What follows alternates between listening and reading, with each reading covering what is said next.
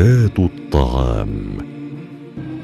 قال محمد بن الوليد أكلت بين يدي أبي جعفر الثاني عليه السلام حتى إذا فرغت ورفع الخوان ذهب الغلام يرفع ما وقع من فتات الطعام فقال له ما كان في الصحراء فدعه ولو فخذ شاة وما كان في البيت فتتبعه والتقط.